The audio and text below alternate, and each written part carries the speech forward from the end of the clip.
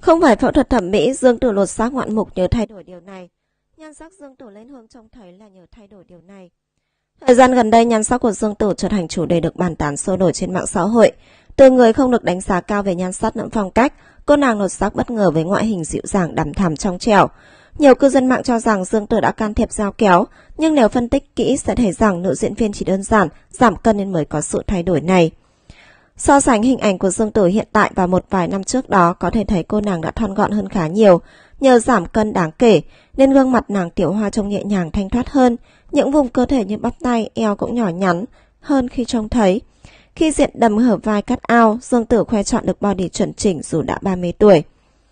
Không chỉ Dương Tử lộ tư cũng là minh chứng cho việc giảm cân ắt sẽ đẹp. Nữ diễn viên đã gây sốt về thân hình vô cùng mảnh mai trên sân khấu đêm hội Darwin vừa qua. Bên cạnh đó, cư dân mạng còn cho rằng Dương Tử đang được hồng khí dưỡng nhan. Khi sự nghiệp càng thành công, nữ diễn viên càng có khí chất đặc biệt của một minh tinh nổi tiếng. Đây chính là thần thái nam nên thương hiệu cho Phạm Băng Băng hay địch địa Nhật Ba. Sắp tới Dương Tử tiến hành quay bù cho Thanh Trâm Hành và chuẩn bị vào đoàn phim mới. Nhiều người lo lắng khi Dương Tử liên tục đóng cổ trang khi các diễn viên khác đã thử sức chính kịch. Tuy nhiên nàng Tiểu Hoa khẳng định mình chỉ nhìn vào kịch bản hay và sẽ có sự lựa chọn sáng suốt cho sự nghiệp của mình.